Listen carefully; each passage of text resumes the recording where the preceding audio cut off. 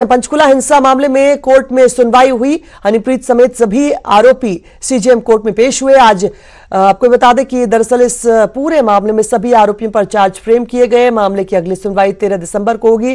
13 दिसंबर को ही तीन अन्य आरोपी जो कोर्ट में पेश नहीं हो पाए थे, उन पर चार्ज फ्रेम किए जाएँगे। और इसके बाद इस मामले में गवाहों का जो बयान दर्ज करने का दौर होगा, वो शुरू होगा। आपको बता दें कि हिंसा मामले में सभी आरोपियों के ऊपर जो देशद्रोह की धारा थी वो हटा दी गई है।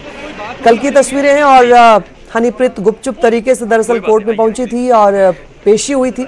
उसके बाद अब इन सभी से देशद्रोह की धारा हटा दी गई है। मामले की अगली सुनवाई तेरह दिसंबर को होगी।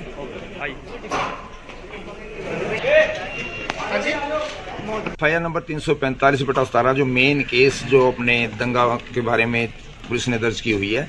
उस पे चार्ज पे लगा हुआ था केस, क्योंकि उससे पहले चार्ज पे आर्ग्यूमेंट हो चुका था, जिसमें मेन चार्ज पे धारा 121 और 121 ए को ड्रॉप कर दिया गया था, जो सेशन ट्रायल थी। अब सेशन ट्रायल की धाराएँ खत्म होने के बाद केस जो है मार्क हो गया था नीचे रिमांड बैक हो गए ऑनरेबल सीजीएम कोर्ट को।